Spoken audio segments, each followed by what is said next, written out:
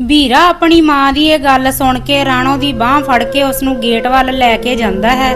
ਨਾਲੇ ਸ਼ਰਾਬ ਦੇ ਨਸ਼ੇ ਵਿੱਚ ਬੋਲਦਾ ਰਹਿੰਦਾ, ਸਾਲੀ ਜਿੱਦਨ ਦੀ ਆਈ ਇਹ ਘਰ ਵਿੱਚ ਕਲੇਸ਼ ਕਰਵਾ ਰੱਖਿਆ।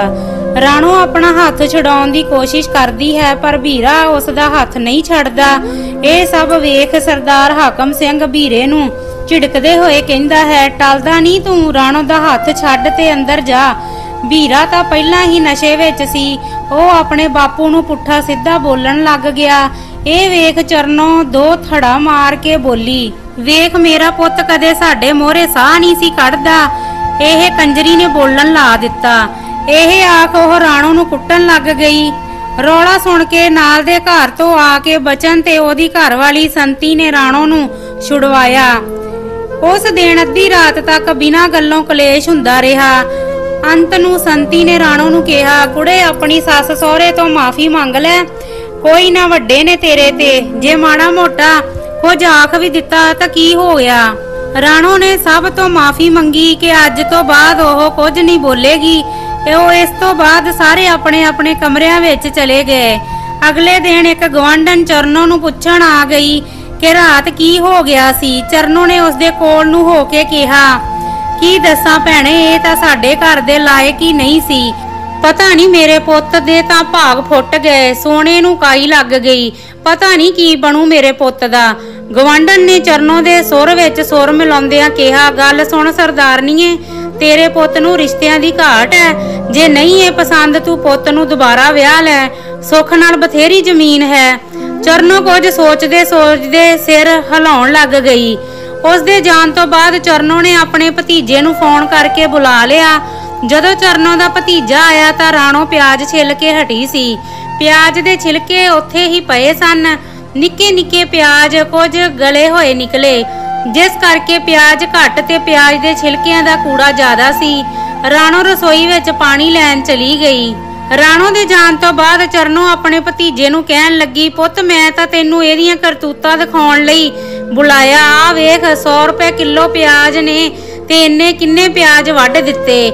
ਇਹਨੂੰ ਤਾਂ ਪਿਆਜ਼ ਵੀ ਛਿੱਲਣੇ ਨਹੀਂ ਆਉਂਦੇ। ਮੈਂ ਤਾਂ ਅਜੇ ਤੱਕ ਤੇਰੇ ਕਰਕੇ ਚੁੱਪ ਸੀ ਕਿ ਰਿਸ਼ਤਾ ਮੇਰੇ ਭਤੀਜੇ ਨੇ ਕਰਵਾਇਆ। ਪਰ ਤੂੰ ਤਾਂ ਪਤਾ ਨਹੀਂ ਕਿਹੜੇ ਜਨਮਾਂ ਦਾ ਬਦਲਾ ਲੈ ਲਿਆ, ਸੱਚੀ।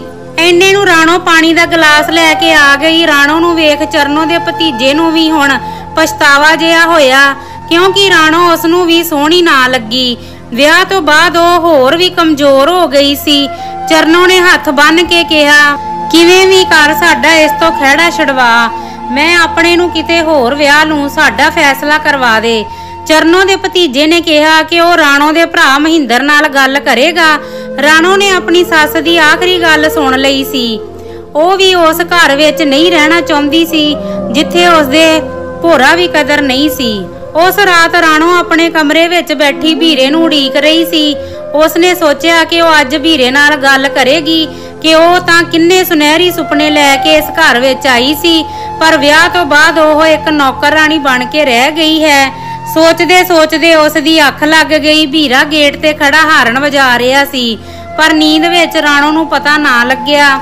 ਅਚਾਨਕ ਉਸ ਦੀ ਅੱਖ ਖੁੱਲੀ ਤਾਂ ਉਹ ਭੱਜ ਕੇ ਗੇਟ ਖੋਲਣ ਗਈ। ਵੀਰਾ ਪੂਰੀ ਸਪੀਡ ਨਾਲ ਮੋਟਰਸਾਈਕਲ ਲੈ ਕੇ ਅੰਦਰ ਆ ਗਿਆ। ਉਹ ਰਾਣੋ ਨੂੰ ਖਿੱਚ ਕੇ ਪਿਆ। ਮੌਜਾਂ ਨਾਲ ਖਾ ਪੀ ਕੇ ਸੁੱਤੀ ਪਈ ਐ ਤੈਨੂੰ ਮੇਰੀ ਕੋਈ ਪਰਵਾਹ ਵੀ ਹੈ ਜਾਂ ਨਹੀਂ? ਇਸੇ ਕਰਕੇ ਵਿਆਹ ਕੇ ਲਿਆਇਆ ਸੀ ਤੈਨੂੰ।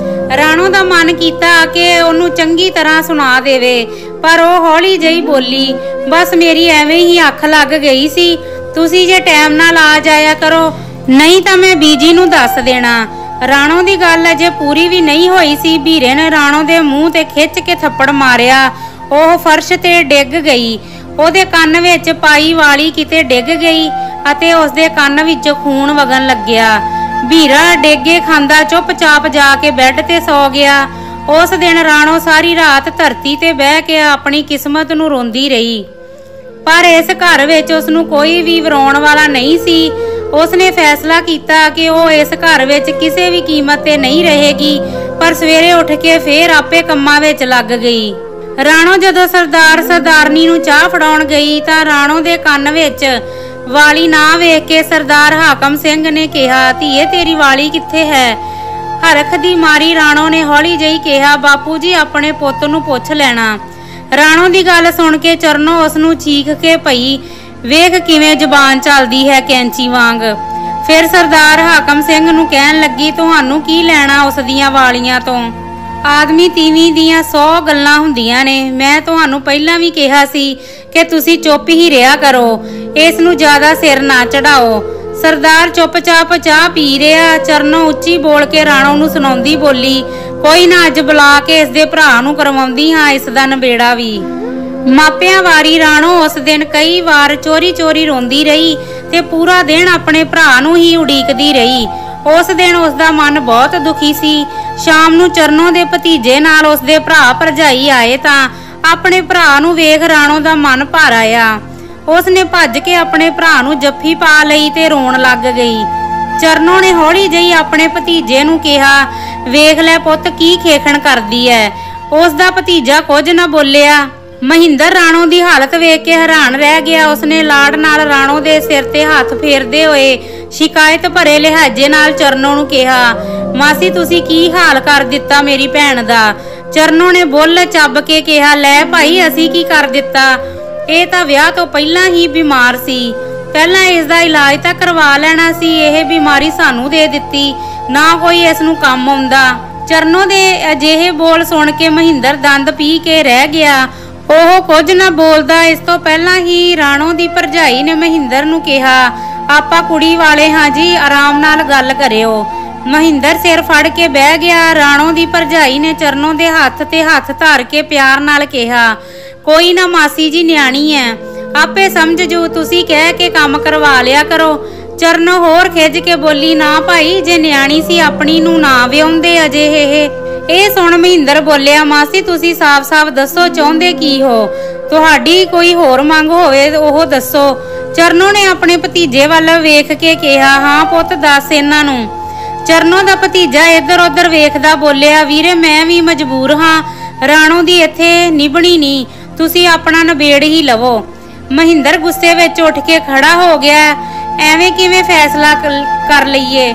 ਕੋਈ ਵਿਆਹ ਗੁੱਡੀਆਂ ਪਟੋਲੇ ਦਾ ਖੇਡ ਨਹੀਂ ਹੁੰਦਾ।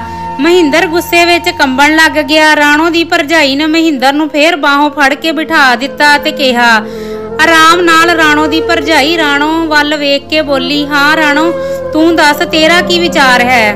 ਰਾਣੋ ਦਰਵਾਜ਼ੇ ਕੋਲ ਨੀਵੀਂ ਪਾਈ ਖੜੀ ਸੀ। ਸਾਰੇ ਰਾਣੋ ਦੇ ਜਵਾਬ ਸੁਣਨ ਲਈ ਉਸ ਵੱਲ ਵੇਖ ਰਹੇ ਸਨ। ਉਹ ਕੁਝ ਦੇਰ ਬਾਅਦ ਬੋਲੀ, ਭਾਬੀ ਭਾਬੀ। ਉਹ ਫੇਰ ਰੋਣ ਲੱਗ ਗਈ। ਉਸ ਤੋਂ ਕੁਝ ਬੋਲਣਾ ਹੋਇਆ। ਰਾਣੋ ਦੀ ਭਰਜਾਈ ਉਸ ਕੋਲ ਗਈ ਤੇ ਉਸ ਨੂੰ ਫੜ ਕੇ ਕੁਰਸੀ ਤੇ ਬਿਠਾ ਦਿੱਤਾ। ਮਹਿੰਦਰ ਨੇ ਕਿਹਾ, ਠੀਕ ਹੈ, ਤੁਸੀਂ ਇੱਕ ਵਾਰ ਵੀਰੇ ਨੂੰ ਬੁਲਾ ਦਿਓ ਮੈਂ ਉਸ ਦੇ ਮੂੰਹ ਦੀ ਵੀ ਲੈ ਲਵਾਂ। ਚਰਨੋ ਨੇ ਸੀਰੀ ਨੂੰ ਕਿਹਾ ਕਾਲੇ ਜਾ ਵੀਰੇ ਨੂੰ ਬੁਲਾ ਕੇ ਲਿਆ, ਸਰਪੰਚਾਂ ਦੇ ਘਰੇ ਹੋਣਾ। ਆਖੀ ਪਰੌਣੇ ਆਏ ਨੇ। ਥੋੜੀ ਦੇਰ ਬਾਅਦ ਵੀਰਾ ਆ ਗਿਆ, ਉਹ ਰਾਣੋ ਦੇ ਭਰਾ ਭਰਜਾਈ ਨੂੰ ਵੇਖ ਕੇ ਹੈਰਾਨ ਰਹਿ ਗਿਆ। ਉਸਨੇ ਸਭ ਨੂੰ ਸਤਿ ਸ਼੍ਰੀ ਅਕਾਲ ਬੁਲਾਈ ਤੇ ਆ ਕੇ ਚਰਨੋ ਦੇ ਕੋਲ ਖੜਾ ਹੋ ਗਿਆ। ਉਸ ਦੇ ਆਉਂਦਿਆਂ ਹੀ ਮਹਿੰਦਰ ਨੇ ਸਵਾਲ ਕੀਤਾ, ਹਾਂ ਕਾਕਾ ਜੀ ਤੁਹਾਡੀ ਬੀਬੀ ਕਹਿੰਦੀ ਹੈ ਕਿ ਮੈਂ ਰਾਣਾ ਨੂੰ ਨਹੀਂ ਰੱਖਣਾ। ਫੈਸਲਾ ਕਰ ਲਓ, ਤੁਹਾਡਾ ਕੀ ਵਿਚਾਰ ਹੈ? ਵੀਰੇ ਨੇ ਉਹੀ ਪਹਿਲਾਂ ਵਾਲਾ ਉੱਤਰ ਦਿੱਤਾ ਜੋ ਉਸਨੇ ਵਿਆਹ ਸਮੇਂ ਦਿੱਤਾ ਸੀ। ਜਿਵੇਂ ਮੇਰੇ ਘਰ ਦੇ ਫੈਸਲਾ ਕਰਨਗੇ, ਮੈਨੂੰ ਮਨਜ਼ੂਰ ਹੈ। ਇਹ ਜਵਾਬ ਸੁਣ ਕੇ ਚਰਨੋ ਆਪਣੇ ਪੁੱਤ ਵੱਲ ਵੇਖ ਕੇ ਮੁਸਕਰਾਉਣ ਲੱਗ ਗਈ। ਹੁਣ ਮਹਿੰਦਰ ਨੇ ਸਰਦਾਰ ਹਾਕਮ ਸਿੰਘ ਵੱਲ ਤੱਕਿਆ, ਜੋ ਚੁੱਪਚਾਪ ਕੋਲ ਪਏ ਮੰਜੇ ਤੇ ਬੈਠਾ ਸੀ। ਸਰਦਾਰ ਜੀ, ਤੁਸੀਂ ਹੀ ਕੁਝ ਕਰੋ ਜੀ, ਐਵੇਂ ਕਿਵੇਂ? ਚਰਨੋ ਸਰਦਾਰ ਹਾਕਮ ਸਿੰਘ ਵੱਲ ਅੱਖਾਂ ਕੱਢ-ਕੱਢ ਵੇਖ ਰਹੀ ਸੀ। ਸਰਦਾਰ ਹਾਕਮ ਸਿੰਘ ਬੋਲਿਆ, ਪੁੱਤ, ਜੇ ਇੱਕ ਵਾਰ ਧਾਗਾ ਟੁੱਟ ਜਾਵੇ, ਉਹ ਦੁਬਾਰਾ ਨਹੀਂ ਜੁੜਦਾ। ਜੇ ਜੋੜੀਏ ਤਾਂ ਉਸ ਵਿੱਚ ਗੱਠ ਪੈ ਜਾਂਦੀ ਹੈ ਜੇ ਰਾਣੋ ਇਸ ਘਰ ਵਿੱਚ ਰਹਿ ਵੀ ਗਈ, ਉਸ ਨੇ ਸੁਖੀ ਨਹੀਂ ਰਹਿਣਾ, ਫਿਰ ਤੂੰ ਕੱਲ ਨੂੰ ਮੈਨੂੰ ਦੋਸ਼ ਦੇਵੇਂਗਾ। ਰਾਣੋ ਦਾ ਭਰਾ ਹੁਣ ਸਭ ਦੇ ਮਨ ਨੂੰ ਬੁੱਝ ਗਿਆ ਸੀ।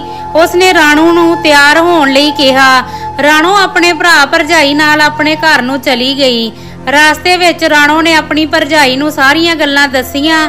ਨਾਲ ਕਿਹਾ, ਭਾਬੀ, ਦਾਜ ਜ਼ਿਆਦਾ ਲਿਆਉਣ ਕਰਕੇ ਪਹਿਲਾਂ ਪਹਿਲ ਤਾਂ ਬੀਬੀ ਕੁਝ ਨਹੀਂ ਬੋਲਦੀ ਸੀ, ਪਰ ਕੁਝ ਕੁ ਮਹੀਨਿਆਂ ਬਾਅਦ ਹੀ ਨਿੱਕੀ ਨਿੱਕੀ ਗੱਲ ਤੇ ਮੈਨੂੰ ਟੋਕ ਦਿਆ ਕਰਦੀ। ਉਹਨਾਂ ਦਾ ਪੁੱਤ ਤਾਂ ਹੁਣ दारू ਪੀ ਕੇ ਕਈ ਵਾਰ ਹੱਥ ਚੁੱਕ ਲੈਂਦਾ ਸੀ। ਬੀਬੀ ਤਾਂ ਮੇਰਾ ਸਾਹਮਣੇ ਹੀ ਗਵੰਡਣਾ ਨੂੰ ਕਹਿਆ ਕਰਦੀ ਸੀ ਕਿ ਸਾਡੀ ਤਾਂ ਕਿਸਮਤ ਹੀ ਫੁੱਟ ਗਈ ਹੈ। ਇਹ ਬਿਮਾਰੀ ਸਾਡੇ ਘਰ ਆ ਗਈ, ਉਹ ਗੱਲ-ਗੱਲ ਤੇ ਸਭ ਦੇ ਸਾਹਮਣੇ ਮੈਨੂੰ ਝਿੜਕ ਦਿੰਦੀ। ਇਹ ਆਖ ਰਾਣੋ ਹੁਬਕੀ ਰੋਣ ਲੱਗ ਗਈ? ਆਪਣੀ ਭੈਣ ਦੇ ਮੂੰਹੋਂ ਇਹ ਸਭ ਸੁਣ ਕੇ ਮਹਿੰਦਰ ਤੋਂ ਬਰਦਾਸ਼ਤ ਨਹੀਂ ਹੋ ਰਿਹਾ ਸੀ ਕਿ ਸਰਦਾਰਾਂ ਨੇ ਉਹਨਾਂ ਦੀ ਲਾਡਲੀ ਭੈਣ ਨਾਲ ਅਜਿਹਾ ਸਲੂਕ ਕੀਤਾ। ਰਾਣੋ ਦੀ ਭਰਜਾਈ ਨੇ ਰਾਣੋ ਨੂੰ ਚੁੱਪ ਕਰਵਾਉਂਦਿਆਂ ਕਿਹਾ ਕੋਈ ਨਾ ਤੂੰ ਕਾਹਤੋਂ ਰੋਂਦੀ ਐ? ਅਸੀਂ ਹਾਂ ਤੇਰੇ ਨਾਲ। ਅਗਲੇ ਦਿਨ ਮਹਿੰਦਰ ਨੇ ਆਪਣੇ ਬਾਕੀ ਭਰਾਵਾਂ ਨਾਲ ਸਲਾਹ ਕਰਕੇ ਚਰਨੋ ਦੇ ਭਤੀਜੇ ਦੇ ਹੱਥ, ਰਾਣੋ ਦੇ ਸਹੁਰਿਆਂ ਨੂੰ ਫੈਸਲਾ ਕਰਨ ਲਈ ਆਖ ਦਿੱਤਾ। ਸਰਦਾਰਨੀ ਤਾਂ ਇਹੀ ਚਾਹੁੰਦੀ ਸੀ ਕਿ ਉਸਨੇ ਝੱਟ ਕਹਿ ਦਿੱਤਾ, ਠੀਕ ਹੈ, ਰੱਖੋ ਰੱਖੋ ਆਪਣੀ ਲਾਡਲੀ ਨੂੰ ਆਪਣੇ ਘਰ। ਪਿੰਡ ਦੀ ਪੰਚਾਇਤ ਨੇ ਹੀ ਫੈਸਲਾ ਕਰਵਾ ਦਿੱਤਾ। ਕੁਝ ਜ਼ਮੀਨ ਵੇਚ ਕੇ ਉਹਨਾਂ ਨੇ ਰਾਣੋ ਦੇ ਭਰਾਵਾਂ ਨੂੰ ਪੈਸੇ ਦੇ ਦਿੱਤੇ, ਜੋ ਰਾਣੋ ਦੇ ਘਰਦਿਆਂ ਨੇ ਵਿਆਹ ਤੇ ਖਰਚ ਕੀਤੇ ਸੀ। ਇਸ ਗੱਲ ਤੋਂ ਬਾਅਦ ਸਰਦਾਰ ਹਾਕਮ ਸਿੰਘ ਕਈ ਦਿਨਾਂ ਤੱਕ ਘਰ ਤੋਂ ਬਾਹਰ ਹੀ ਨਹੀਂ ਨਿਕਲਿਆ। ਪੂਰੇ ਪਿੰਡ ਵਿੱਚ ਕਈ ਤਰ੍ਹਾਂ ਦੀਆਂ ਗੱਲਾਂ ਹੋ ਰਹੀਆਂ ਸਨ। ਕੋਈ ਕਹਿੰਦਾ ਕਿ ਦਾਜ ਕਰਕੇ ਇਹ ਵਿਆਹ ਟੁੱਟਿਆ ਹੈ। ਕੋਈ ਆਖਦਾ ਕਿ ਵੀਰੇ ਦੀ ਨਸ਼ੇ ਦੀ ਆਦਤ ਕਰਕੇ ਇਹਨਾਂ ਦੀ ਨੂੰਹ ਚਲੀ ਗਈ ਹੈ। ਜਿੰਨੇ ਮੂੰਹ ਓਨੀਆਂ ਗੱਲਾਂ। ਚਰਨੋ ਆਪਣੇ ਵੱਲੋਂ ਪੋਚੇ ਫੇਰਦੀ ਹੋਈ ਗਵੰਡਨਾ ਨੂੰ ਕਹਿੰਦੀ ਕਿ ਰਾਣੋ ਬਿਮਾਰ ਰਹਿੰਦੀ ਸੀ, ਤਾਂ ਕਰਕੇ ਉਹ ਆਪੇ ਹੀ ਆਪਣੀ ਕੁੜੀ ਨੂੰ ਲੈ ਗਏ। ਗਵੰਡਨਾ ਵੀ ਉਸ ਦੀ ਹਾਂ ਵਿੱਚ ਹਾਂ ਮਿਲਾਉਂਦੀਆਂ ਤੇ ਪਿੱਠ ਪਿੱਛੇ ਉਸ ਦੀਆਂ ਗੱਲਾਂ ਕਰਦੀਆਂ। ਵੀਰੇ ਨੂੰ ਇਹਨਾਂ ਗੱਲਾਂ ਨਾਲ ਕੋਈ ਖਾਸ ਫ਼ਰਕ ਨਹੀਂ ਪਿਆ। ਮਹੀਨੇ ਕੋ ਬਾਅਦ ਜਦੋਂ ਰਾਣੋ ਦੇ ਪਰਿਵਾਰ ਨਾਲ ਸਭ ਨਿਬੜ ਗਿਆ, ਤਾਂ ਚਰਨੋ ਵੀਰੇ ਦੇ ਦੂਜੇ ਵਿਆਹ ਦੀ ਤਿਆਰੀ ਵਿੱਚ ਜੁਟ ਗਈ। ਸਰਦਾਰ ਹਾਕਮ ਸਿੰਘ ਉਸ ਨੂੰ ਸਮਝਾਉਂਦਿਆਂ ਕਿਹਾ, ਵੇਖ ਸਰਦਾਰਨੀਏ, ਉਂਝ ਤਾਂ ਤੂੰ ਉਸ ਕੁੜੀ ਨਾਲ ਚੰਗਾ ਨਹੀਂ ਕੀਤਾ, ਪਰ ਚਰਨੋ ਸਰਦਾਰ ਦੀ ਗੱਲ ਪੂਰੀ ਹੋਣ ਤੋਂ ਪਹਿਲਾਂ ਹੀ ਬੋਲ ਪਈ, ਰਹਿਣ ਦੋ ਤੁਸੀਂ, ਕਿਹੜੀਆਂ ਗੱਲਾਂ ਕਰਦੇ ਹੋ ਸਰਦਾਰ ਜੀ? ਆਪ ਹੀ ਵਿਆਹ ਲਈ ਤੁਸੀਂ ਹਾਂ ਕਰ ਦਿੱਤੀ ਸੀ, ਮੈਨੂੰ ਤਾਂ ਉਹ ਵਿੰਗੜ ਜਿਹੀ ਭੋਰਾ ਵੀ ਪਸੰਦ ਨਹੀਂ ਸੀ। ਮੈਂ ਤਾਂ ਤੁਹਾਨੂੰ ਪਹਿਲਾਂ ਹੀ ਕਿਹਾ ਸੀ ਕਿ ਇੱਕ ਵਾਰ ਮੈਂ ਕੁੜੀ ਹੋਰ ਵੇਖ ਕੇ ਆਉਣੀ ਆ। ਇਹ ਗੱਲ ਸੁਣ ਸਰਦਾਰ ਹਾਕਮ ਸਿੰਘ ਨੂੰ ਗੁੱਸਾ ਆਇਆ ਤੇ ਬੋਲਿਆ, ਨਾ ਉਹ ਕੋਈ ਗਾਂ ਮੱਝ ਸੀ। ਇੱਕ ਵਾਰ ਚੰਗੀ ਤਰ੍ਹਾਂ ਵੇਖ ਤਾਂ ਲਈ ਸੀ। ਸੱਟ ਤਾਂ ਉਸਦੇ ਸਾਡੇ ਘਰ ਵੀ ਆ ਕੇ ਲੱਗ ਸਕਦੀ ਸੀ। ਅਗਲਿਆਂ ਦੇ ਦਾਜ ਨਾਲ ਤੇਰਾ ਘਰ ਭਰ ਦਿੱਤਾ। ਹੋਰ ਕੀ ਚਾਹੀਦਾ ਸੀ ਤੈਨੂੰ? ਚਰਨੋ ਬੋਲੀ, ਲੈ, ਦਾਜ ਦਾ ਕੀ ਹੈ ਸਾਰੇ ਹੀ ਦਿੰਦੇ ਨੇ ਆਪਣੀ ਧੀ ਨੂੰ। ਸਰਦਾਰ ਹਾਕਮ ਸਿੰਘ ਨੂੰ ਪਤਾ ਸੀ ਚਰਨੋ ਨਾਲ ਬਹਿਸ ਕਰਕੇ ਕੋਈ ਫਾਇਦਾ ਹੀ ਨਹੀਂ ਸੀ। ਉਹ ਬਸ ਇੰਨਾ ਹੀ ਬੋਲਿਆ ਕਰੋ ਮਰਜ਼ੀਆਂ ਰਿਸ਼ਤੇ ਸੌਖੇ ਨਹੀਂ ਹੁੰਦੇ। ਚਰਨੋ ਨੇ ਕਿਹਾ ਲੋ ਸਰਦਾਰ ਜੀ, ਕਿਹੜੀਆਂ ਗੱਲਾਂ ਕਰਦੇ ਹੋ? ਮੇਰੇ ਪੁੱਤ ਨੂੰ ਕੁੜੀਆਂ ਦਾ ਘਾਟਾ ਮਹੀਨੇ ਦੇ ਅੰਦਰ ਰਿਸ਼ਤਾ ਨਾ ਕਰਵਾ ਦਿੱਤਾ ਤਾਂ ਮੇਰਾ ਨਾਂ ਚਰਨੋ ਨਹੀਂ। ਸਰਦਾਰ ਹਾਕਮ ਸਿੰਘ ਮਨ ਵਿੱਚ ਹੀ ਬੋਲਿਆ ਕਿ ਰਿਸ਼ਤਾ ਸਾਡੇ ਪੁੱਤ ਨੂੰ ਨਹੀਂ ਉਸ ਦੀ ਜ਼ਮੀਨ ਨੂੰ ਹੋਣਾ ਏ। ਚਰਨੋ ਨੇ ਉਸੇ ਸਮੇਂ ਫੋਨ ਕਰਕੇ ਆਪਣੇ ਭਤੀਜੇ ਨੂੰ ਕਿਹਾ, ਕਰਾ ਪੁੱਤ, ਕਿਸੇ ਸੋਹਣੀ ਸੁਨੱਖੀ ਕੁੜੀ ਦਾ ਰਿਸ਼ਤਾ। ਐਤਕੀ ਤੈਨੂੰ ਪੂਰੇ ਅੱਧੇ ਤੋਲੇ ਦੀ ਮੁੰਦਰੀ ਪਾਵਾਂਗੀ, ਪਰ ਉਸ ਦਾ ਭਤੀਜਾ ਇੰਨਾ ਖੱਜਲ ਖਵਾਰ ਹੋ ਚੁੱਕਿਆ ਸੀ ਉਸ ਨੇ ਕੰਨਾਂ ਨੂੰ ਹੱਥ ਲਗਾਉਂਦਿਆਂ ਕਿਹਾ, ਨਾ ਭੂਆ ਜੀ, ਮੈਂ ਤਾਂ ਇਹਨਾਂ ਕੰਮਾਂ ਤੋਂ ਦੂਰ ਹੀ ਠੀਕ ਹਾਂ, ਨਾਲੇ ਆਪਣਾ ਕੰਮ ਖਰਾਬ ਕਰੋ, ਨਾਲੇ ਦੂਜਿਆਂ ਤੋਂ ਛਿੱਤਰ ਖਾਓ। ਆਪਣੇ ਭਤੀਜੇ ਦੀ ਗੱਲ ਸੁਣ ਕੇ ਚਰਨੋ ਉਦਾਸ ਜਿਹੀ ਹੋ ਗਈ। ਉਸ ਨੂੰ ਸਮਝ ਆ ਗਿਆ ਕਿ ਉਸ ਦੇ ਭਤੀਜੇ ਨੇ ਤਾਂ ਹੁਣ ਰਿਸ਼ਤਾ ਨਹੀਂ ਕਰਵਾਉਣਾ। ਉਸ ਨੇ ਹੋਰ ਰਿਸ਼ਤੇਦਾਰੀ ਦੇ ਆਂਢ ਗੁਆਂਢ ਵਿੱਚ ਵੀ ਕਿਸੇ ਕੁੜੀ ਦੀ ਦੱਸ ਪਾਉਣ ਲਈ ਕਿਹਾ। ਇੱਕ ਦਿਨ ਪਿੰਡ ਦੇ ਦੂਜੇ ਪਾਸੇ ਰਹਿੰਦੀ ਨਾਇਣ ਸ਼ਿੰਦਰ ਕਿਸੇ ਦੇ ਵਿਆਹ ਦਾ ਕਾਰਡ ਲੈ ਕੇ ਸਰਦਾਰਾਂ ਦੇ ਘਰ ਆਈ। ਹਾਲ ਚਾਲ ਪੁੱਛਣ ਤੋਂ ਬਾਅਦ ਸ਼ਿੰਦਰ ਨੇ ਵਿਆਹ ਦਾ ਕਾਰਡ ਚਰਨੋ ਨੂੰ ਫੜਾ ਦਿੱਤਾ। ਚਰਨੋ ਕਾਰਡ ਵੱਲ ਵੇਖ ਉਦਾਸ ਜਿਹੀ ਹੋ ਕੇ ਕਹਿਣ ਲੱਗੀ, ਹਾਏ, ਪਤਾ ਨਹੀਂ ਮੇਰੇ ਪੁੱਤ ਦੇ ਵਿਆਹ ਦੇ ਕਾਰਡ ਹੁਣ ਕਦੋਂ ਛਪਣਗੇ? ਸ਼ਿੰਦਰ ਨੂੰ ਚਰਨੋ ਵੱਲ ਵੇਖ ਤਰਸ ਜਿਹਾ ਆਇਆ, ਉਸਨੇ ਹਮਦਰਦੀ ਜਤਾਉਂਦਿਆਂ ਕਿਹਾ ਸਰਦਾਰਨੀਏ, ਤੁਹਾਡੇ ਨਾਲ ਤਾਂ ਬਹੁਤ ਬੁਰੀ ਹੋਈ। ਲੈ ਦੱਸ, ਬਿਮਾਰ ਕੁੜੀ ਤੁਹਾਡੇ ਪੱਲੇ ਪਾ ਦਿੱਤੀ। ਮੈਨੂੰ ਤਾਂ ਵੀਰੇ ਤੇ ਤਰਸ ਆਉਂਦਾ ਹੈ। ਵਿਚਾਰਾ ਅੱਧੀ ਅੱਧੀ ਰਾਤ ਤੱਕ ਫਿਰਦਾ ਰਹਿੰਦਾ। ਭਾਈ, ਤੁਸੀਂ ਇਸ ਦਾ ਕੋਈ ਹੀਲਾ ਕਰੋ। ਉਸ ਦੀਆਂ ਗੱਲਾਂ ਸੁਣ ਚਰਨੋ ਬੋਲੀ, ਭੈਣੇ, ਅਸੀਂ ਤਾਂ ਮੂੰਹ ਵਿਖਾਉਣ ਜੋਗੇ ਨਹੀਂ ਰਹੇ। ਵੇਖ ਤਾਂ ਰਹੇ ਹਾਂ, ਕੋਈ ਕੁੜੀ ਮੇਰੇ ਤੋਂ ਤਾਂ ਆਪਣੇ ਪੁੱਤ ਦਾ ਹਾਲ ਵੇਖਿਆ ਨਹੀਂ ਜਾਂਦਾ। ਤੂੰ ਹੀ ਪੁੰਨ ਖੱਟ ਲੈ, ਸ਼ਿੰਦਰ। ਦੱਸ ਕੋਈ ਕੁੜੀ। ਸ਼ਿੰਦਰ, ਕੁਝ ਸੋਚ ਕੇ ਬੋਲੀ, ਲੈ ਸਾਗ ਤਾਂ ਮੈਂ ਪੇਕੇ ਪਿੰਡ ਤੋਂ ਕਰਵਾ ਦੇਵਾਂ, ਪਰ ਸਰਦਾਰਨੀਏ ਉਹ ਦਾਜ ਦੂਜ ਨਹੀਂ ਦੇਣਗੇ। ਚਰਨੋ ਨੇ ਕਿਹਾ, ਵਾਹਿਗੁਰੂ ਦਾ ਦਿੱਤਾ ਸਭ ਕੁਝ ਹੈ ਘਰ ਵਿੱਚ, ਬਸ ਇੱਕ ਨਿੱਕੀ ਸਰਦਾਰਨੀ ਚਾਹੀਦੀ ਹੈ, ਜਿਹੜੀ ਵਿਹੜੇ ਵਿੱਚ ਫਿਰਦੀ ਸੋਹਣੀ ਲੱਗੇ। ਸ਼ਿੰਦਰ ਨੇ ਉਸ ਦੀ ਗੱਲ ਸੁਣ ਕੇ ਕਿਹਾ, ਕੁੜੀ ਵੱਲੋਂ ਤੁਸੀਂ ਬੇਫਿਕਰ ਰਹੋ, ਕੁੜੀ ਤਾਂ ਹੱਥ ਲਾਏ ਮੈਲੀ ਹੁੰਦੀ ਹੈ। ਇਹ ਗੱਲ ਸੁਣ ਚਰਨੋ ਦੀਆਂ ਅੱਖਾਂ ਵਿੱਚ ਚਮਕ ਆ ਗਈ ਚੁੰਨੀ ਦੇ ਪੱਲੇ ਨਾਲੋਂ 100 ਦਾ ਨੋਟ ਖੋਲ ਕੇ ਸ਼ਿੰਦਰ ਵੱਲ ਕਰਦਿਆਂ ਖੁਸ਼ ਹੋ ਕੇ ਕਹਿਣ ਲੱਗੀ, ਆ ਫੜ ਸ਼ਿੰਦਰ, ਨਾਲੇ ਹੁਣ ਚਾਹ ਪੀ ਕੇ ਜਾਵੀਂ। ਚਰਨੋ ਨੇ ਕੰਮ ਵਾਲੀ ਨੂੰ ਚਾਹ ਬਣਾਉਣ ਲਈ ਕਿਹਾ ਤੇ ਆਪ ਸ਼ਿੰਦਰ ਨਾਲ ਹੋਰ ਗੱਲਾਂ ਕਰਨ ਲੱਗ ਗਈ। 15 ਕੁ ਦਿਨਾਂ ਬਾਅਦ ਚਰਨੋ ਇਕੱਲੀ ਹੀ ਸ਼ਿੰਦਰ ਨਾਲ ਜਾ ਕੇ ਕੁੜੀ ਨੂੰ ਵੇਖ ਆਈ। ਉਸਨੇ ਘਰ ਸਰਦਾਰ ਹਾਕਮ ਸਿੰਘ ਅਤੇ ਵੀਰੇ ਨੂੰ ਇਸ ਬਾਰੇ ਕੁਝ ਨਹੀਂ ਦੱਸਿਆ ਸੀ। ਚਰਨੋ ਚਾਹੁੰਦੀ ਸੀ ਕਿ ਜੇ ਉਸ ਨੂੰ ਕੁੜੀ ਪਸੰਦ ਆਈ ਤਾਂ ਹੀ ਉਹ ਘਰ ਵਿੱਚ ਦੱਸੇਗੀ। ਜਦੋਂ ਉਸਨੇ ਕੁੜੀ ਨੂੰ ਵੇਖਿਆ ਤਾਂ ਵੇਖਦੀ ਹੀ ਰਹਿ ਗਈ। ਜਿਵੇਂ ਸ਼ਿੰਦਰ ਨੇ ਕੁੜੀ ਬਾਰੇ ਕਿਹਾ ਸੀ, ਕੁੜੀ ਉਸ ਤੋਂ ਵੀ ਕਿਧਰੇ ਵੱਧ ਸੋਹਣੀ ਸੀ। ਉਸਨੇ ਘਰ ਆ ਕੇ ਸਰਦਾਰ ਹਾਕਮ ਸਿੰਘ ਅਤੇ ਵੀਰੇ ਨਾਲ ਇਸ ਬਾਰੇ ਗੱਲ ਕੀਤੀ ਤੇ ਕਿਹਾ, ਆਪਾਂ ਕੱਲ ਨੂੰ ਹੀ ਸ਼ਗਨ ਪਾ ਆਉਂਦੇ ਹਾਂ, ਬਹੁਤਾ ਰੌਲਾ ਪਾਉਣ ਦੀ ਲੋੜ ਨਹੀਂ। ਘਰ ਵਿੱਚ ਉਸ ਦੀ ਗੱਲ ਮੋੜਨ ਦਾ ਤਾਂ ਸਵਾਲ ਹੀ ਨਹੀਂ ਉੱਠਦਾ ਸੀ, ਪਰ ਸਰਦਾਰ ਹਾਕਮ ਸਿੰਘ ਨੇ ਨਾਲ ਜਾਣ ਤੋਂ ਸਾਫ਼ ਮਨਾ ਕਰ ਦਿੱਤਾ। ਉਹ ਅਗਲੇ ਦਿਨ ਵੀਰੇ ਨੂੰ ਨਾਲ ਲੈ ਕੇ ਉਸ ਕੁੜੀ ਨੂੰ ਸ਼ਗਨ ਪਾ ਆਈ। ਸਰਦਾਰ ਹਾਕਮ ਸਿੰਘ ਨੂੰ ਇਸ ਵਿਆਹ ਦਾ ਕੋਈ ਚਾਹ ਨਹੀਂ ਸੀ, ਪਰ ਚਰਨੋ ਹੁਣ ਪੱਬਾਂ ਭਾਰ ਫਿਰਦੀ ਸੀ। ਮਹੀਨੇ ਕੋ ਬਾਅਦ 10 ਕੋ ਬੰਦੇ ਜਾ ਕੇ ਆਨੰਦ ਕਾਰਜ ਕਰਾ ਕੁੜੀ ਨੂੰ ਘਰ ਲੈ ਆਏ। ਸਰਦਾਰ ਹਾਕਮ ਸਿੰਘ ਇਹ ਵੇਖ ਕੇ ਖੁਸ਼ ਹੋਇਆ ਕਿ ਹੁਣ ਵੀ ਵਾਰ ਚਰਨੋਂ ਪਹਿਲਾਂ ਵਾਲੀਆਂ ਹੀਲ ਹੁਜਤਾਂ ਨਾ ਕੀਤੀਆਂ। ਉਸਨੇ ਦੋਵੇਂ ਹੱਥ ਬੰਨੇ ਕਿ ਚਲੋ ਸ਼ੁਕਰ ਹੈ ਜੇ ਠੋਕਰ ਖਾ ਕੇ ਵੀ ਇਹ ਸੁਧਰ ਜਾਵੇ। ਚਰਨੋਂ ਨੂੰ ਛੇਤੀ ਹੀ ਆਪਣੀ ਮਨਪਸੰਦ ਨੂੰ ਮਿਲ ਗਈ, ਤਾਂ ਕਰਕੇ ਉਹ ਬਹੁਤ ਖੁਸ਼ ਸੀ। ਬੇਸ਼ੱਕ ਉਹ ਦਾਜ ਜ਼ਿਆਦਾ ਤਾਂ ਨਹੀਂ ਲੈ ਕੇ ਆਈ ਸੀ, ਪਰ ਫਿਰ ਵੀ ਕੰਮੋਂ ਦੇ ਘਰਦਿਆਂ ਤੋਂ ਜਿੰਨਾ ਕੋ ਪੁੱਗਿਆ, ਉਹਨਾਂ ਨੇ ਆਪਣੀ ਧੀ ਨੂੰ ਦਿੱਤਾ। ਵੀਰੇ ਤੇ ਕੰਮੋਂ ਦੀ ਜੋੜੀ ਚਰਨੋਂ ਨੂੰ ਬਹੁਤ ਸੋਹਣੀ ਲੱਗਦੀ। ਉਂਝ ਵੀ ਕੰਮੋਂ ਸਲੀਕੇ ਵਾਲੀ ਕੁੜੀ ਸੀ, ਘਰ ਦੇ ਸਾਰੇ ਕੰਮ ਜਾਣਦੀ ਸੀ। ਚਰਨੋਂ ਵਾਰ-ਵਾਰ ਸ਼ਿੰਦਰ ਨੂੰ ਧੰਨਵਾਦ ਕਰਦੀ ਕਿ ਤੂੰ ਤਾਂ ਮੇਰੇ ਘਰ ਨੂੰ ਭਾਗ ਲਾ ਦਿੱਤੇ। ਵੀਰੇ ਨੂੰ ਕੰਮੋਂ ਪਸੰਦ ਜ਼ਰੂਰ ਸੀ, ਪਰ ਪ੍ਰਵਾਹ ਉਹ ਉਸ ਦੀ ਵੀ ਨਹੀਂ ਕਰਦਾ ਸੀ। ਵਿਆਹ ਦਾ ਚਾਹ ਉਸ ਨੂੰ ਨਾ ਪਹਿਲਾਂ ਸੀ ਅਤੇ ਨਾ ਹੀ ਹੁਣ। ਹੁਣ ਵੀ ਉਹ ਅੱਧੀ ਅੱਧੀ ਰਾਤ ਨੂੰ ਘਰ ਵੜਦਾ, ਉਹ ਵੀ दारू ਨਾਲ ਰੱਜਿਆ ਹੋਇਆ। ਇਸ ਗੱਲ ਤੋਂ ਕੰਮੋ ਬਹੁਤ ਦੁਖੀ ਸੀ, ਪਰ ਉਹ ਚੁੱਪ ਰਹਿਣ ਵਾਲਿਆਂ ਵਿੱਚੋਂ ਨਹੀਂ ਸੀ। ਉਸਨੇ ਪਹਿਲਾਂ ਪਹਿਲਾਂ ਤਾਂ ਵੀਰੇ ਨੂੰ ਪਿਆਰ ਨਾਲ ਸਮਝਾਉਣ ਦੀ ਕੋਸ਼ਿਸ਼ ਕੀਤੀ, ਪਰ ਹੌਲੀ-ਹੌਲੀ ਸ਼ਰਾਬ ਨੂੰ ਲੈ ਕੇ ਉਹਨਾਂ ਦੀ ਨਿੱਤ ਦੀ ਲੜਾਈ ਹੋਣ ਲੱਗ ਗਈ। ਕੰਮੋ ਤੰਗ ਆ ਕੇ ਕਦੇ-ਕਦੇ ਚਰਨੋ ਦੇ ਮੋਹਰੇ ਵੀ ਬੋਲ ਪੈਂਦੀ। ਚਰਨੋ ਨੂੰ ਉਸ ਦੀ ਇਹ ਗੱਲ ਬਿਲਕੁਲ ਵੀ ਪਸੰਦ ਨਹੀਂ ਸੀ। ਉਸਨੇ ਇਸ ਗੱਲ ਦੀ ਸ਼ਿਕਾਇਤ ਸ਼ਿੰਦਰ ਨੂੰ ਵੀ ਕੀਤੀ। ਸ਼ਿੰਦਰ ਭੈਣੇ, ਤੂੰ ਕੰਮੋ ਨੂੰ ਸਮਝਾਵੀਂ? ਮੇਰੇ ਮੋਹਰੇ ਬੋਲਦੀ ਹੈ। ਜਿਵੇਂ ਘਰਦਿਆਂ ਨੇ ਕੁਝ ਨਹੀਂ ਸਿਖਾਇਆ ਹੁੰਦਾ। ਦੇਖ ਜੇ ਮੈਂ ਕੁਝ ਆਖ ਦਿੱਤਾ ਤਾਂ ਫੇਰ ਗੱਲ ਵਿਗੜ ਜਾਣੀ ਐ। ਸ਼ਿੰਦਰ ਨੇ ਅੱਗੋਂ ਕਿਹਾ, ਸਰਦਾਰਨੀਏ, ਹੁਣ ਆਪਣੇ ਟਾਈਮ ਵਾਲੀਆਂ ਗੱਲਾਂ ਨਹੀਂ ਰਹੀਆਂ। ਅੱਜ ਕੱਲ ਤਾਂ ਕੁੜੀਆਂ ਐਵੇਂ ਹੀ ਬੋਲਦੀਆਂ ਨੇ। ਜੇ ਮੈਂ ਕੁਝ ਕਹਿ ਦਿੱਤਾ ਤਾਂ ਉਹ ਮੈਨੂੰ ਹੀ ਪੁੱਠਾ ਪੈ ਜਾਵੇ। ਚਰਨੋ ਨੇ ਹੁਣ ਔਖੀ ਜਿਹੀ ਹੋ ਕੇ ਕਿਹਾ, ਨਾ ਸ਼ਿੰਦਰ, ਤੈਨੂੰ ਪਹਿਲਾਂ ਨਹੀਂ ਸੀ ਪਤਾ ਕਿ ਕੁੜੀ ਨੂੰ ਗੱਲ ਕਰਨ ਦੀ ਅਕਲ ਹੀ ਨਹੀਂ ਹੈਗੀ। ਇਹਦਾ ਮਤਲਬ ਤੂੰ ਸਾਡੇ ਨਾਲ ਧੋਖਾ ਕੀਤਾ, ਕੁੜੀਆਂ ਵਰਗਾ ਮੇਰਾ ਮੁੰਡਾ ਤੂੰ ਫਸਾ ਦਿੱਤਾ। ਵੇਖ ਸਰਦਾਰਨੀਏ ਤੈਨੂੰ ਸੋਹਣੀ ਸੁਨੱਖੀ ਕੁੜੀ ਚਾਹੀਦੀ ਸੀ, ਤਾਂ ਮੈਂ ਰਿਸ਼ਤਾ ਕਰਵਾ ਦਿੱਤਾ।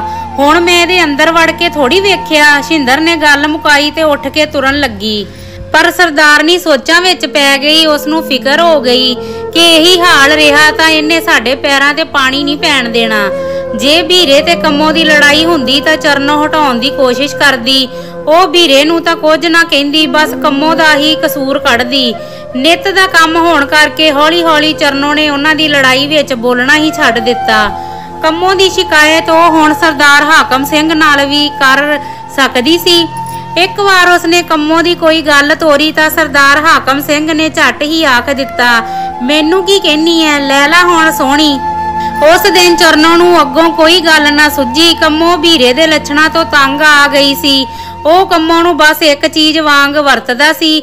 ਉਹਨੂੰ ਕੰਮੋ ਦੇ ਦੁੱਖ ਸੁੱਖ ਨਾਲ ਕੋਈ ਵਾਸਤਾ ਨਹੀਂ ਸੀ। ਇੱਕ ਦਿਨ ਵੀਰੇ ਨੂੰ ਕਿਤੋਂ ਵੀ ਸ਼ਰਾਬ ਨਾ ਮਿਲੀ। ਉਹ ਬੌਂਦਲਿਆ ਜਿਹਾ ਫਿਰਦਾ ਰਿਹਾ ਤੇ ਸ਼ਾਮ ਨੂੰ ਛੇਤੀ ਘਰ ਆ ਕੇ ਆਪਣੇ ਕਮਰੇ ਵਿੱਚ ਪੈ ਗਿਆ।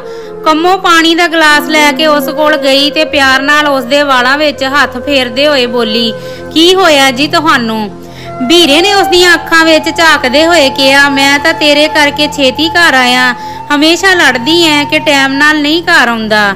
ਕੰਮੋ ਸ਼ਰਮਾ ਗਈ ਤੇ ਉਸ ਦੇ ਕੋਲ ਬੈਠਦੇ ਹੋਏ ਬੋਲੀ, ਤੁਸੀਂ ਕਦੇ ਖੇਤ ਵਿੱਚ ਚੱਲੇ ਜਾਇਆ ਕਰੋ। ਉਸ ਦਾ ਇਹ ਉਪਦੇਸ਼ ਸੁਣ ਵੀਰੇ ਨੂੰ ਗੁੱਸਾ ਆ ਗਿਆ। ਉਹ ਆਕੜ ਕੇ ਬੋਲਿਆ, ਸਰਦਾਰਾਂ ਦਾ ਮੁੰਡਾ ਹਾਂ ਮੈਂ। ਖੇਤ ਜਾਣ ਲਈ ਨੌਕਰ ਹੈਗੇ ਨੇ, ਯਾਰ ਤਾਂ ਠੇਕੇ ਵੱਲ ਜਾਂਦੇ ਨੇ। ਕੰਮੋ ਖੜੀ ਹੋ ਗਈ ਤੇ ਬੋਲੀ ਸਾਰਾ ਦਿਨ ਠੇਕੇ ਦੀਆਂ ਗੱਲਾਂ, ਜੇ ਤੁਸੀਂ ਨਾ ਸੁਧਰੇ ਤਾਂ ਮੈਂ ਪੇਕੇ ਚਲੀ ਜਾਣਾ। ਵੀਰੇ ਨੂੰ ਕਿਹੜਾ ਪ੍ਰਵਾਹ ਸੀ ਉਸ ਦਾ ਮੂਡ ਤਾਂ ਪਹਿਲਾਂ ਹੀ ਖਰਾਬ ਸੀ। ਕਹਿੰਦਾ, ਵਗ ਜਾ, ਮੈਂ ਰੋਕਿਆ ਤੈਨੂੰ। ਕੰਮੋਂ ਘਬਰਾ ਗਈ, ਉਹ ਪੇਕੇ ਜਾ ਕੇ ਆਪਣੇ ਮਾਂ-ਬਾਪ ਦੀ ਬਦਨਾਮੀ ਨਹੀਂ ਕਰਾਉਣਾ ਚਾਹੁੰਦੀ ਸੀ। ਉਸ ਨੂੰ ਵੀਰੇ ਤੋਂ ਅਜਿਹੇ ਜਵਾਬ ਦੀ ਉਮੀਦ ਵੀ ਨਹੀਂ ਸੀ। ਉਹ ਪਛਤਾ ਰਹੀ ਸੀ ਕਿ ਉਸਨੇ ਵੀਰੇ ਨਾਲ ਵਿਆਹ ਹੀ ਕਿਉਂ ਕੀਤਾ। ਹਾਰ ਕੇ ਕੰਮੋਂ ਨੇ ਵੀਰੇ ਦੀ ਸ਼ਿਕਾਇਤ ਸਰਦਾਰ ਸਰਦਾਰਨੀ ਕੋਲ ਕੀਤੀ। ਪਰ ਅੱਗੋਂ ਚਰਨੋ ਉਸ ਨੂੰ ਬੋਲੀ, ਖਬਰਦਾਰ, ਜੇ ਮੇਰੇ ਪੁੱਤ ਦੇ ਖਾਣ ਪੀਣ ਬਾਰੇ ਕੁਝ ਬੋਲੀ ਤਾਂ? ਤੈਨੂੰ ਬੜਾ ਪਤਾ ਸਰਦਾਰਾਂ ਦਾ ਕਾਕਾ ਹੈ। ਵੱਡੇ ਲੋਕਾਂ ਨਾਲ ਉੱਠਣਾ ਬਹਿਣਾ ਹੁੰਦਾ ਖਾਣਾ ਪੀਣਾ ਤਾਂ ਪੈਂਦਾ ਹੀ ਹੈ। ਤਾਂ ਹੀ ਚਾਰ ਬੰਦਿਆਂ ਨਾਲ ਜਾਣ ਪਛਾਣ ਹੁੰਦੀ ਹੈ। ਕੰਮੋ ਚੁੱਪਚਾਪ ਆਪਣੇ ਕਮਰੇ ਵਿੱਚ ਚਲੀ ਗਈ। ਉਸ ਨੂੰ ਸਭ ਤੋਂ ਵੱਧ ਇਸ ਗੱਲ ਦੀ ਹੈਰਾਨੀ ਸੀ ਕਿ ਸਰਦਾਰ ਤੇ ਸਰਦਾਰਨੀ ਆਪਣੇ ਪੁੱਤ ਨੂੰ ਕੁਝ ਨਹੀਂ ਆਖਦੇ ਸਨ। ਉਹਨਾਂ ਨੂੰ ਕੋਈ ਫ਼ਰਕ ਨਹੀਂ ਸੀ। ਉਹ ਕਿਸ ਟਾਈਮ ਆਉਂਦਾ, ਕਿੱਥੇ ਜਾਂਦਾ, ਕੀ ਕਰਦਾ। ਕੰਮੋ ਦਾ ਹੁਣ ਕਿਸੇ ਕੰਮ ਵਿੱਚ ਦਿਲ ਨਹੀਂ ਲੱਗਦਾ ਸੀ। ਉਸ ਦੀ ਨੀਂਦ ਵੀ ਪੂਰੀ ਨਾ ਹੁੰਦੀ। ਜੇ ਕੰਮੋ ਨੂੰ ਦਰਵਾਜ਼ਾ ਖੋਲਣ ਵਿੱਚ ਦੇਰ ਹੋ ਜਾਂਦੀ ਤਾਂ ਭੀਰਾ ਉਸ ਨੂੰ ਬਹੁਤ ਕੁੱਟਦਾ। ਇੱਕ ਦਿਨ ਕੰਮੋ ਨੇ ਸਰਦਾਰਨੀ ਨੂੰ ਆਖ ਦਿੱਤਾ ਬੀਜੀ ਤੁਸੀਂ ਦਰਵਾਜ਼ਾ ਆਪ ਖੋਲ ਦਿਆ ਕਰੋ। ਮੈਂ ਦਿਨੇ ਕੰਮ ਕਰਕੇ ਥੱਕ ਜਾਂਦੀ ਹਾਂ, ਮੈਨੂੰ ਨੀਂਦ ਆ ਜਾਂਦੀ ਹੈ। ਨੂੰ ਦੀ ਇਹ ਗੱਲ ਸੁਣ ਚਰਨੋ ਨੂੰ ਬਹੁਤ ਗੁੱਸਾ ਆਇਆ, ਉਹ ਕੁਝ ਬੋਲਦੀ ਪਰ ਪਹਿਲਾਂ ਹੀ ਸਰਦਾਰ ਹਾਕਮ ਸਿੰਘ ਬੋਲ ਪਿਆ, ਕੋਈ ਨਾ ਧੀਏ, ਤੂੰ ਫਿਕਰ ਨਾ ਕਰ, ਅਸੀਂ ਦਰਵਾਜ਼ਾ ਆਪੇ ਖੋਲ ਦਿਆ ਕਰਾਂਗੇ। ਇਹ ਸੁਣ ਕੇ ਚਰਨੋ ਨੂੰ ਸਣੇ ਕੱਪੜੇ ਅੱਗ ਲੱਗ ਗਈ ਕਿ ਕੰਮੋ ਦੀ ਹਿੰਮਤ ਕਿਵੇਂ ਹੋਈ, ਉਸਨੇ ਉਸ ਨੂੰ ਦਰਵਾਜ਼ਾ ਖੋਲਣ ਨੂੰ ਕਿਹਾ। ਪਰ ਕੰਮੋ ਨੇ ਇਹ ਗੱਲ ਜਾਣ ਕੇ ਆਖੀ ਸੀ ਕਿ ਇਹਨਾਂ ਨੂੰ ਪਤਾ ਲੱਗੇ ਕਿ ਇਹਨਾਂ ਦਾ ਪੁੱਤ ਕਿਸ ਟਾਈਮ ਘਰ ਆਉਂਦਾ। ਅਗਲੇ ਹੀ ਦਿਨ ਚਰਨੋ ਨੇ ਸ਼ਿੰਦਰ ਦੇ ਹੱਥ ਸੁਨੇਹਾ ਭੇਜ ਕੇ ਕੰਮੋ ਦੇ ਮਾਂ-ਬਾਪ ਨੂੰ ਬੁਲਾ ਲਿਆ। ਇਸ ਗੱਲ ਦਾ ਕੰਮੋ ਨੂੰ ਬਿਲਕੁਲ ਵੀ ਪਤਾ ਨਾ ਚੱਲਣ ਦਿੱਤਾ। ਕੰਮੋ ਆਪਣੇ ਮੰਮੀ ਪਾਪਾ ਨੂੰ ਵੇਖ ਕੇ ਹੈਰਾਨ ਰਹਿ ਗਈ। ਉਸਨੇ ਮਨ ਹੀ ਮਨ ਸੋਚਿਆ ਕਿ ਉਹ ਆਪਣੇ ਸਹੁਰੇ ਘਰ ਦੀ ਕੋਈ ਵੀ ਗੱਲ ਆਪਣੀ ਮੰਮੀ ਨੂੰ ਨਹੀਂ ਦੱਸੇਗੀ। ਉਹ ਆਪਣੇ ਘਰਦਿਆਂ ਨੂੰ ਬਿਨਾਂ ਗੱਲੋਂ ਪਰੇਸ਼ਾਨ ਨਹੀਂ ਕਰਨਾ ਚਾਹੁੰਦੀ ਸੀ। ਕੰਮੋ ਜਦੋਂ ਚਾਹ ਲੈ ਕੇ ਕਮਰੇ ਵਿੱਚ ਆਈ ਤਾਂ ਚਰਨੋ ਨੇ ਚੁੰਨੀ ਦਾ ਪੱਲਾ ਸਵਾਰਦੇ ਹੋਏ ਕੰਮੋ ਦੀ ਮਾਂ ਨੂੰ ਕਿਹਾ, ਭੈਣ ਜੀ, ਤੁਸੀਂ ਕੰਮੋ ਨੂੰ ਸਮਝਾ ਕੇ ਜਾਣਾ। ਵੀਰੇ ਦੇ ਮੋਹਰੇ ਬੋਲਦੀ ਹੈ, ਜਮਾ ਅਕਲ ਨਹੀਂ। ਮੈਨੂੰ ਨਹੀਂ ਇਹ ਸਭ ਚੰਗਾ ਲੱਗਦਾ। ਵੱਡੇ ਘਰਾਂ ਦੀਆਂ ਧੀਆਂ ਨੂੰਆਂ ਨੂੰ ਇਹ ਸਭ ਸੋਭਾ ਨਹੀਂ ਦਿੰਦਾ। ਚਰਨੋ ਨੇ ਇਹ ਸਭ ਕੰਮੋ ਦੇ ਸਾਹਮਣੇ ਹੀ ਕਿਹਾ ਤਾਂ ਕੰਮੋ ਨੂੰ ਚਰਨੋ ਦੀ ਇਹ ਗੱਲ ਸੁਣ ਬਹੁਤ ਗੁੱਸਾ ਆਇਆ। ਉਹ ਮੂੰਹ ਜਿਹਾ ਬਣਾ ਕੇ ਦੂਜੇ ਕਮਰੇ ਵਿੱਚ ਚਲੀ ਗਈ। ਵੇਖ ਲਓ ਭੈਣ ਜੀ, ਸਾਡੇ ਘਰ ਇਹ ਸਭ ਨਹੀਂ ਚੱਲਣਾ। ਨਹੀਂ ਤਾਂ ਆਪਣੀ ਨੂੰ ਨਾਲ ਹੀ ਲੈ ਕੇ ਜਾਓ। ਚਰਨੋ ਨੇ ਮੱਥੇ ਤੇ ਟਿਉੜੀਆਂ ਪਾਉਂਦੇ ਹੋਏ ਗੱਲ ਮੁਕਾਈ। ਕੰਮੋ ਦੀ ਮਾਂ ਚਰਨੋ ਦੇ ਇਹ ਬੋਲ ਸੁਣ ਘਬਰਾ ਗਈ ਤੇ ਕਹਿਣ ਲੱਗੀ, ਕੋਈ ਨਾ ਭੈਣ ਜੀ, ਮੈਂ ਸਮਝਾਉਂਦੀ ਹਾਂ। ਇਹ ਆਖੋ ਕੰਮੋ ਦੇ ਪਿੱਛੇ ਪਿੱਛੇ ਕੋਲ ਚਲੀ ਗਈ। ਕਮਰੇ ਵਿੱਚ ਜਾ ਕੇ ਕੰਮੋ ਨੂੰ ਝਿੜਕਦੇ ਹੋਏ ਕਹਿਣ ਲੱਗੀ, ਡੁੱਬ ਕੇ ਮਰ ਜਾ, ਪਹਿਲੀ ਵਾਰ ਤੇਰੇ ਸਹੁਰੇ ਆਈ ਹਾਂ, ਤੇਰੇ ਬਾਰੇ ਇਹ ਸਭ ਸੁਣਨ ਨੂੰ ਮਿਲ ਗਿਆ। ਖਬਰਦਾਰ ਜੇ ਹੁਣ ਤੂੰ ਇੱਥੇ ਸਾਹ ਵੀ ਕੱਢਿਆ, ਇੰਨਾ ਵੱਡਾ ਘਰ ਮਿਲ ਗਿਆ, ਹੋਰ ਕਿੱਥੇ ਨਿਕਲ ਕੇ ਜਾਏਂਗੀ? ਕੰਮੋ ਰੋਣ ਹਾਕੀ ਹੋ ਗਈ ਤੇ ਬੋਲੀ, ਮੰਮੀ ਜੀ, ਤੁਸੀਂ ਰਹਿ ਕੇ ਦੇਖੋ, ਇਸ ਘਰ ਵਿੱਚ ਸਾਰਾ ਦਿਨ ਤਾਂ ਇਹ ਬੁੜੀ ਬੁੜਬੁੜ ਕਰਦੀ ਰਹਿੰਦੀ ਹੈ ਤੇ ਇਸ ਦਾ ਪੁੱਤ ਨਛੇੜੀ ਰੋਜ਼ ਮੇਰੇ ਹੱਡ ਸੇਕਦਾ ਹੈ। ਮੈਂ ਹੀ ਹਾਂ ਜਿਹੜੀ ਰਹਿ ਰਹੀ ਹਾਂ। ਕੋਈ ਹੋਰ ਹੁੰਦੀ ਕਦੋਂ ਦੀ ਚਲੀ ਜਾਂਦੀ? ਇਹ ਸੁਣ ਕੰਮੋ ਦੀ ਮਾਂ ਕੰਮੋ ਦੀ ਤਕਲੀਫ ਨੂੰ ਸਮਝਦੇ ਹੋਏ ਨਰਮੀ ਵਰਤਦੇ ਹੋਏ ਬੋਲੀ, ਕੋਈ ਨਾ ਧੀਏ, ਮੈਂ ਸਮਝ ਸਕਦੀ ਹਾਂ, ਪਰ ਤੂੰ ਚੁੱਪ ਰਿਹਾ ਕਰ, ਮੇਰੀ ਇਹ ਗੱਲ ਪੱਲੇ ਬੰਨ ਲੈ, ਇੱਕ ਚੁੱਪ ਸੋ ਸੁੱਖ। ਜੇ ਤੂੰ ਨਹੀਂ ਬੋਲੇਂਗੀ ਤਾਂ ਦੂਜਾ ਬੰਦਾ ਵੀ ਆਪੇ ਹੀ ਚੁੱਪ ਰਹੂ। ਕੰਮੋ ਦੀ ਮਾਂ ਉਸ ਨੂੰ ਆਪਣੇ ਤਰੀਕੇ ਨਾਲ ਸਮਝਾ ਕੇ ਕਮਰੇ ਤੋਂ ਬਾਹਰ ਆ ਗਈ। ਇਹੋ ਕਿਹੋ ਜਿਹਾ ਸਮਾਜ ਹੈ? ਜਿੱਥੇ ਗਲਤ ਨੂੰ ਗਲਤ ਨਹੀਂ ਕਿਹਾ ਜਾਂਦਾ, ਵੀਰੇ ਨੂੰ ਉਸਦੇ ਮਾਪੇ ਕੁਝ ਨਹੀਂ ਕਹਿੰਦੇ ਤੇ ਮੇਰੀ ਮੰਮੀ ਵੀ ਮੈਨੂੰ ਹੀ ਸਮਝਾ ਰਹੀ ਹੈ। ਉਸਨੇ ਆਪਣੇ ਮਨ ਹੀ ਮਨ ਵਿੱਚ ਕਿਹਾ, ਨਾਲੇ ਅੱਖਾਂ ਵਿੱਚੋਂ ਹੰਝੂ ਪੂੰਝਦੀ ਹੋਈ ਆਪਣੀ ਮਾਂ ਦੇ ਮਗਰ ਹੀ ਆ ਗਈ। ਬਾਹਰ ਆ ਕੇ ਕੰਮੋ ਦੀ ਮੰਮੀ ਨੇ ਕੰਮੋ ਦੇ ਮੋਢੇ ਤੇ ਹੱਥ ਧਰਦੇ ਹੋਏ ਚਰਨੋਂ ਨੂੰ ਕਿਹਾ, ਜੇ ਤੁਸੀਂ ਕਹੋ ਤਾਂ ਅਸੀਂ 2-4 ਦਿਨ ਲਈ ਕੰਮੋ ਨੂੰ ਲੈ ਜਾਂਦੇ ਹਾਂ, ਨਾਲੇ ਇਸ ਦਾ ਮਨ ਬਦਲ ਜੂ, ਨਾਲੇ ਮੈਂ ਇਸ ਨੂੰ ਚੰਗੀ ਤਰ੍ਹਾਂ ਸਮਝਾ ਦੂੰ।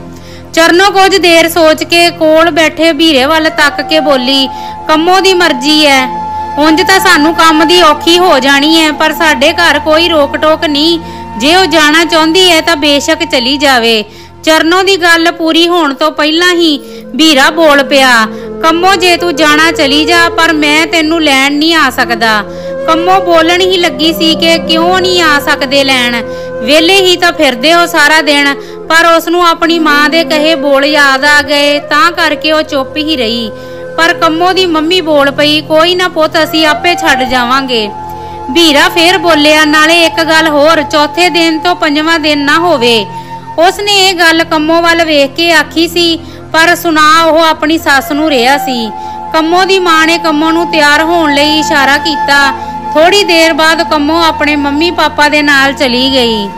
ਵੀਰੇ ਦੇ ਕਹੇ ਅਨੁਸਾਰ ਚੌਥੇ ਦਿਨ ਹੀ ਕੰਮੋ ਆਪਣੇ ਪਾਪਾ ਨਾਲ ਵਾਪਸ ਆ ਗਈ। ਚਰਨੋ ਨੂੰ ਇਹ ਵੇਖ ਖੁਸ਼ੀ ਹੋਈ ਕਿ ਕੰਮੋ ਅਤੇ ਉਸਦੇ ਮਾਪੇ ਵੀਰੇ ਦੇ ਕਹੇ ਬੋਲਾਂ ਤੇ ਖਰੇ ਰਹੇ।